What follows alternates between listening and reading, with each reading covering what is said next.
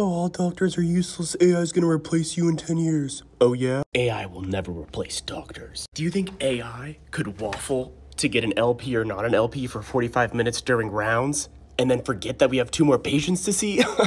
I don't think so. Do you think AI could get pissed off that you gave them the wrong Army Navy during a case and throw it across the room? Not in a million years. You think AI could shoot you down for starting Lexapro? And then when you ask for some education why, just say, I don't know, I don't like it. I like Zoloft. Do you think AI could give you an unbelievably vague pimping question like, what's the bad thing about a burn? And when you can't reach inside of their thoughts and extract what they're what they're picturing, inflammation, you're suddenly wrong when you say infection? yeah, right. Do you think AI could passively aggressively tell you just do a good job when you ask what your expectations are?